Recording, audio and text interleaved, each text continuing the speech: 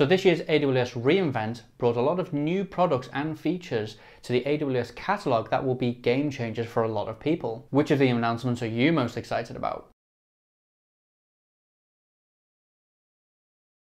AWS just keeps adding more and more to their catalog and it's great, it's wonderful. They add lots and lots of new stuff all the time. Well, this year's AWS reInvent had a bit of both. It had some new products and some new features, and today I thought that I would share with you my favorite amongst those announcements. So briefly, what do we have? Well, first off, we have Lightsail, which is AWS offering you a fixed price for a fixed set of EC2 resources, which allows them to compete with the likes of DigitalOcean and Linode. And then the Systems Manager, which has created a lot of controversy as to whether you even need configuration management anymore. The answer is yes. Athena introduces SQL to S3, which is just crazy. Now it's just made S3 even more powerful and even more useful. And if you're a scientist or someone working with large numbers and you need to crunch a big batch of them, well, AWS Batch will be perfect for you as it handles all of the scaling and clustering of all of the EC2 resources for you, so you don't have to worry about that. And CloudFront is getting Lambda. It's called Lambda at Edge, and it allows you to process your connections right at the CloudFront edge. And finally, Postgres comes to AWS Aurora.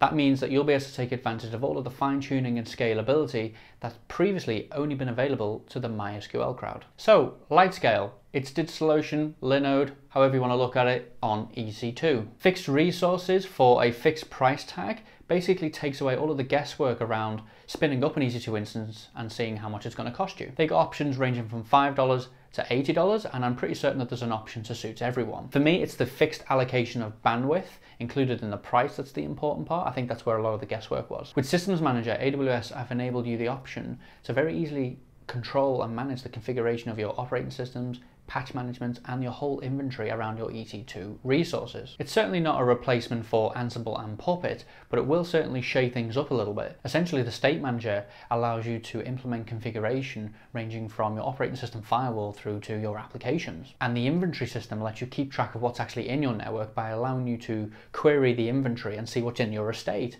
what applications are installed, what the state looks like, etc. throughout, which will give a lot of visibility and a lot of insight, which is great. I think that's a really, really cool feature. So yeah, Athena is introducing SQL to S3. It's a bit odd, but it's also really, really cool. It's really hard for me to explain in a video. You're best actually getting over there and checking it out yourself. Maybe we're about to see an S3 backed database. If you've got lots of batch work that needs doing, such as crunching numbers, or perhaps you're doing some kind of scientific study and you need to crunch a lot of data in a huge cluster cluster but can't quite afford the time or the money to set up that cluster, then AWS Batch is for you. Now you can just throw all that data at AWS Batch and all the EC2 resources and clustering is all done for you and it will automatically scale to match the workload that you're giving it and it'll automatically descale as well and it'll even pop off and disappear once the work is done. Now I personally don't have a need for this, however I do have friends that do crunch those numbers and it's going to be really exciting to see if, the, if and how they take advantage of this service. And finally for me,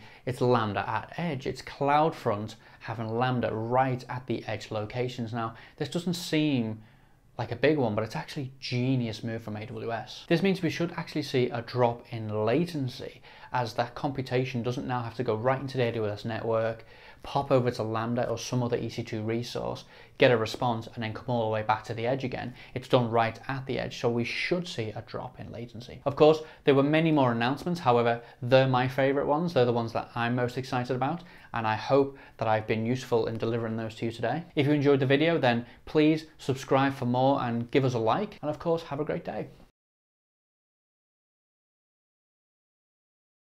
Do I look weird now that I don't have a mustache?